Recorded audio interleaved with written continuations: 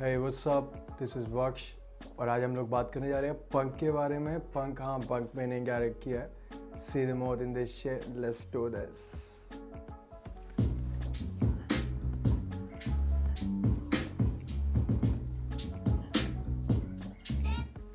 बहुत सारे मैसेज आए, सिर्फ़ इस शॉट के लिए इंट्रो शॉट है। ऐसा शॉट सोचा भी नहीं था और ड्रोन लगता है, पर ड्रोन शॉट नहीं है ब्रो ये सिक्सटीन एम पे लिया हुआ शॉट है। सोनी अल्फ़ा कैमरा था। मार्क थ्री आगे चलते हैं।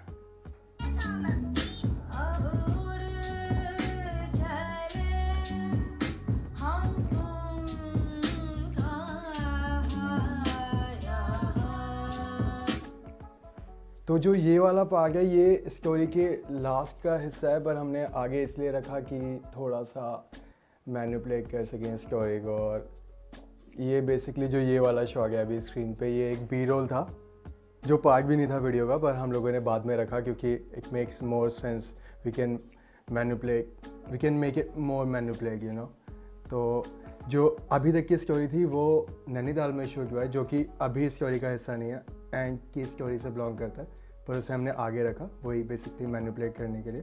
तो जो यहाँ से स्टोरी चालू होती है, वो बेसिकली अब एक पाथ है स्टोरी का मतलब यहाँ से रियल बेस पे स्टोरी चालू होती है।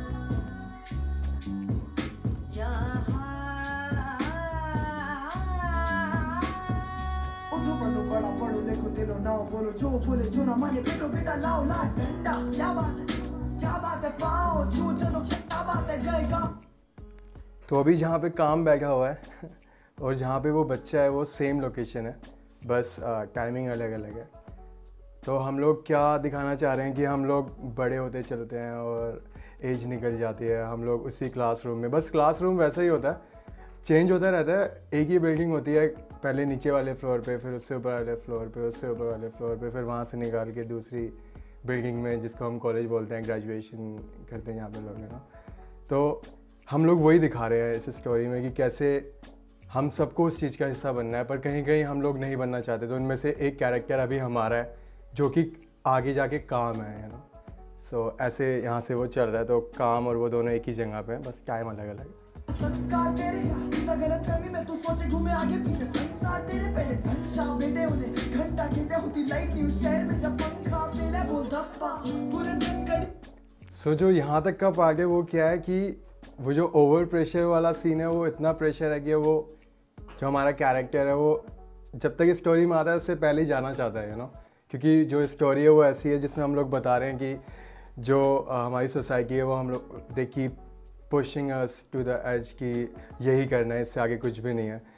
तो वो कैरेक्टर जो हम लोग बिलोंग करवा रहे हैं वीडियो में, वो रहना ही नहीं चाहता है वहाँ पे यू नो तो वो वहाँ से भग जाता है। वो वहाँ से भग जाता है।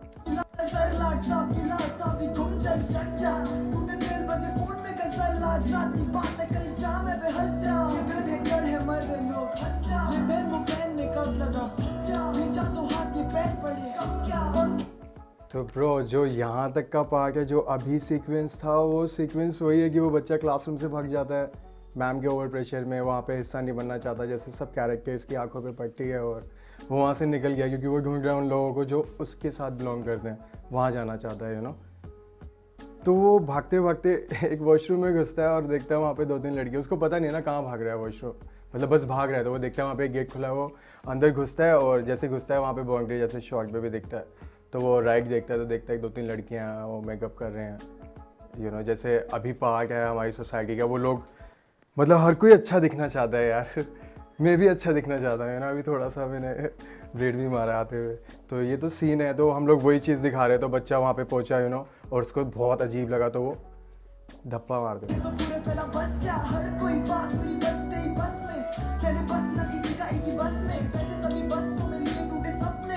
को तो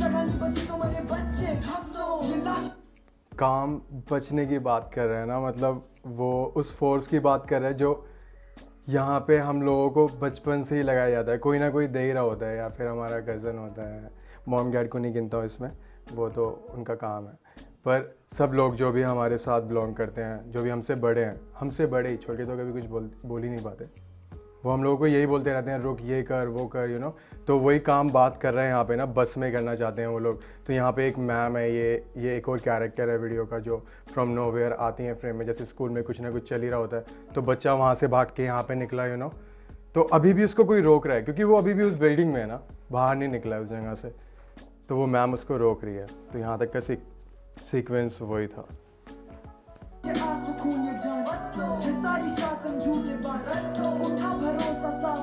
यहाँ खाली चौदह भार उड़ान भर लो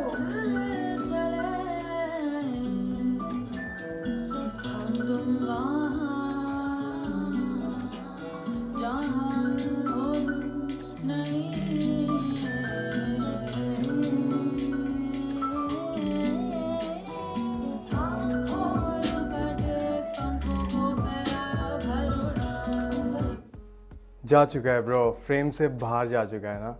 जब वो वो सर्कल से निकलते हुए बाहर निकलता है ना तो उसका जो वाइब है, वो बता रहा है कि मतलब is gone is out from that vibe from that zone you know जैसे काम और ए बी एकदम से फ्रेम में आते हैं और उस जगह है, जहाँ पे उसको होना चाहिए एग्जैक्टली exactly. मतलब हमारा यही था कि हम चाहते थे कि वो ऐसी जगह रहना चाहता है मतलब ऐसी जगह नहीं, जहाँ पे कोई है नहीं उसको सोसाइटी पुश नहीं कर रही।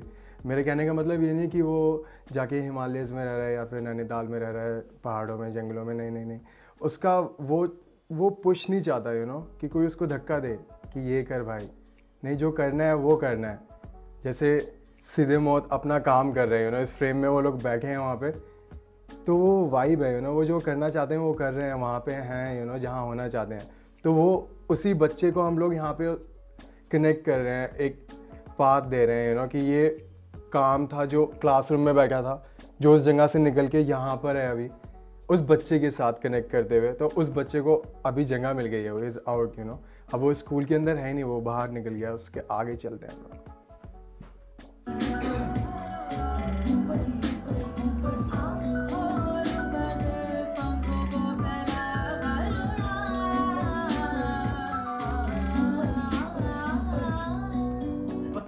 हिज आउट जैसे मैंने अभी भी बोला हिज आउट तो अभी कोई और आने वाला है ना, तभी तो वो गया है ना।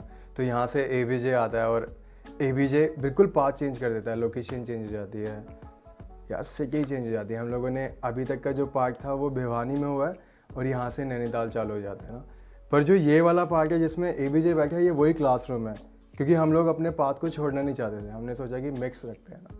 तो ज़्यादा अच्छा लगेगा कि लास्ट में वो एंडिंग हम लोग दे पाएँ, जिससे इमोशंस रहे। तो यहाँ से ए बी जे आता है। पता होता मुझे सारी बात बढ़ जाएगी तो चुप ही रहता। मैं बता तू क्यों है सहता घर पे सुनता, स्कूल पे सुनता। पता मुझे कि तू क्यों है सहता सबसे सुनता, डर की सुनता। पता मुझे कि तू क्यों है बहका खुद से तुझे लोग तुझे बोले सस्ता। मतलब जब ए बी जे ने मतलब हम लोगों ने जब ये पहली बार सुना था, और तब तो रो था बेक्स ही नहीं था, ऐसा सुनाई नहीं देता था, जैसा अभी सुनाई देता है। दो महीने तक हम लोगों ने बात किया। मतलब उस दो महीने में हम लोगों ने ये पार्ट सोचा ही नहीं था जो अभी स्क्रीन पे। ये सब मतलब जो काम का और एबीजे का लिरिक्स है, वो इतना रिलेट करता है इन चीज़ों से जो हम लोगों ने शो किया है। तो ये सब चीज़ें वहीं पे क्रिएट हुआ है। That was an part of story you know हम लोग पहली बार इस लोकेशन पे गए, पहली बार इस बच्चे से मिले। सब लोग पहली बार मिले किसी को नहीं जानते थे और किसी ने कभी एक्ट नहीं किया है। ये सब लोग रियल है यू नो ये बच्चा सही में इसको मतलब कोई पुश कर रहा था वहाँ पे भी कि ये शूट में ना हो शूट का पार्ट पर इसने दो बार कैंसिल करके ये आया दोबारा हम लोगों ने दोबारा शूट किया यू नो ब्रो तो यहाँ पे हम वही दिखा रहे हैं यू नो कि वो खेलना चाहता है मतलब हम लोग ऐसे ही दिखा सकते थे और कुछ था नहीं हम पे। इन दोनों बच्चों की रिजेम्बलेंस भी है उनको से और उससे। हाँ वही वही हाँ बिल्कुल। हाँ बिल्कुल ब्रो वो प्री प्लान था स्टोरी का हिस्सा भी था एक स्टोरी थी पूरी। हमने सोचा था कि ऐसा करेंगे कि एक पार्ट पे काम के लिए एक बच्चा होगा और एक पार्ट पे एबीजे के लिए एक बच्चा होगा जो कि उनका ऐसा नहीं बोलेंगे कि उनका पास्ट है बट उसी दौर से या फिर उसी सेम पास से हम लोग गुजरे हैं सबने पुश किया हमें हमेशा से। उन लोगों को भी। और काम तो ये जो लोकेशन स्कूल की यूज़ हुई है सॉरी जो नैनीताल वाला शूट हुआ है, का, वहाँ पे काम के गैर बहुत अच्छी पॉसिबिलिटीज है। तो उन्होंने हमें बहुत हेल्प किया उन्होंने ही सब कुछ, हमारा बहुत हेल्प किया लोकेशन पे एवरीवेयर ना। और भिवानी में क्या था कि काम की मॉम हेड थी प्रिंसिपल मतलब स्कूल की। तो वहाँ तो बहुत ही इजी रहा। वहाँ हमने ड्रोन भी यूज़ किया। तभी उस शॉट में ड्रोन है। यहाँ पे थोड़ा सा था, पर क्योंकि वहाँ पे ये बोर्डिंग था तो ज़्यादा प्रॉब्लम थी क्योंकि उन लोगों का रेस्ट्रिकेशन ज़्यादा होता है। पर चलो वीडियो पे आते हैं हम लोग ना। तो क्या सीन है? यहाँ पे अभी जब वीडियो चालू होती है मतलब जब ये वर्स चालू होता है ए का तो एबीजे बोलता है कि यू you नो know, उसको पता नहीं था। अगर पता होता तो वो उस चीज़ का हिस्सा नहीं बनता। यू you नो know, तो ये बच्चा भी बनना नहीं चाहता पर इसको पता नहीं था। यू नो तो इज़ देयर उसके हाथ में बॉल है अभी भी उस यूनिफॉर्म में ही खड़ा अब इससे आगे चलते हैं। उनसे खुद पे लोड लेके रास्ता पर आ। तेरी पे इतना तो जायज़ जायज़ अभी क्या है, वो बच्चा ना घर पहुँच गया है। उसी जोन में है, पर घर पहुँच गया है। अपने फीते खोल रहे हैं, जूते के। अब उसके आगे का क्या है ना? उसके आगे देखते हैं। यहाँ से बहुत, मेरा बहुत, मेरा फेवरेट पार्ट है ये वाला पार्ट बहुत अभी भी मैं इसको देखता हूँ तो I can relate myself as a character in this video this प्यार से ज़्यादा है प्यारा साधु की नीयत से न्यारा एक पंछी के पंखों से हल्के से हल्का ये रिश्ता हमारा। इतना सा कहना मैं कि अब मुझ पे नहीं है कोई चारा मैं जी तो ए बी जे भी वही बोल रहे हैं ना जो वहाँ पे है। ए बी जे वही बता रहा है कि मतलब इतना तगड़ा रिलेशन जिसको हम लोग बचपन से देखते हैं। वहाँ पे भी इतने सारे फकअप है मतलब। और हम लोगों को वहाँ से गुजरना होता है तो मैंने देखा है, इन सबने सबने देखा है मतलब वो पार्ट है लाइफ का। तो हमने सोचा ना, और हम पे कैरेक्टर नहीं थे। मतलब हमने सोच तो लिया था ये फ्रेम बहुत पहले से था स्टोरी का पार्ट पूरा चंक था सीक्वेंस था कि एक बच्चा होगा, दूसरा कैरेक्टर और वो रूम के अंदर जाएगा, फीते खोलेगा अपने, कि वो घर पहुँच गया है। ये वही कैरेक्टर है जो पहले कैरेक्टर था भिवानी में। दोनों की स्टोरी सेम है अलग अलग लोग हैं। अलग अलग जगह वो घर पहुँचता है, वो देखता है कि यार मतलब जिस रिलेशन के बारे में स्कूल में रोज़ पढ़ रहा हूँ, सब लोग जो लोग मुझे फोर्स कर रहे हैं, उनकी खुद की ज़िंदगी में भी कहीं ना कहीं, कोई ना कोई फ़कअप है। सबने अपने अपने अपने अपने खुद के डिसीज़न अपने आप लिए हैं। तो मैं क्यों नहीं? तो वो उनको देखते वो पेन तो बहुत है, पर वो अपनी आँखें नीचे कर देता है और मतलब वहाँ से चला जाता है बेसिकली काफ़ी सा इंडस्ट्री देती है चारा। जिसे मैं घंटा नहीं खा रहा था, क्या इनसे जब शुरू में करने था चारा? चलना है मंजिल तक, मैं चलता ही जा रहा किसी की वही, जो मैंने बोला ना, वो चला जाता है। तो अभी विजय वही बोल रहा है, चलेगा। उसको मतलब वो लेके जा रहा है ना, वहाँ पे ये लोग वहीं पे हैं जहाँ वो जाना चाहते हैं ना, जो हमारा पहला कैरेक्टर है, भिवानी वाला, और जो ये कैरेक्टर है। ये दोनों यहीं जाना चाहते हैं, जहाँ पे भाई लोग चल ना, कोई नहीं है दूर दूर तक। पुश करने वाला dreamy way you know it's like a dream to being in a heaven like like this location you know so wide no worry no worry was there you know मतलब शाम को आना इतना मुश्किल होता था कि ऐसा लगता था, पूरी जंगल है और उसमें अंधेरा है आठ बजे ब्रो और ऐसा लगता था ना कि मतलब यहाँ से चीता निकल के आ जाएगा ब्रो और अभी सीन हो जाएगा यू नो ऐसा करके। तो वही ए बी जे उसको बोल रहा है, चलेगा। तो वो निकल गया ना वहाँ से मतलब आँखों में तारा किसी की आँखों में आवारा बस तेरी आँखों का सहारा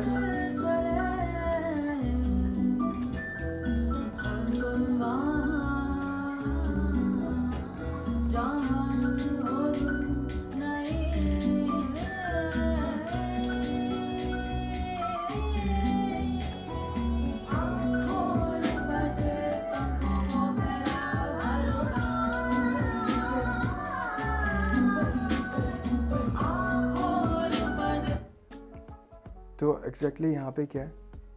वो लोग अभी भी वहीं पे बस वो जो एनर्जी है ना मतलब नहीं, बनना नहीं है उस चीज़ का हिस्सा। तो जैसे वो बच्चा, वो बाहर देख रहा है ना, वो ए बी जे और काम जहाँ चल रहे हैं अभी, वो वही वाइब है उसके अंदर ना, वो जीना चाहता है फिर ये है सारा। जो उसे वो जीने नहीं दे रहे हैं ना बोर्डिंग स्कूल का हिस्सा है। तो यहाँ से कितना खुल सकता है ना? तो हमने यहाँ से पूरा वीडियो खोल दिया। सब कुछ खोल दिया, जो भी था हमारे पास। जितना वाइड जा सकते थे हम लोग। कि कोई नहीं है दूर दूर तक।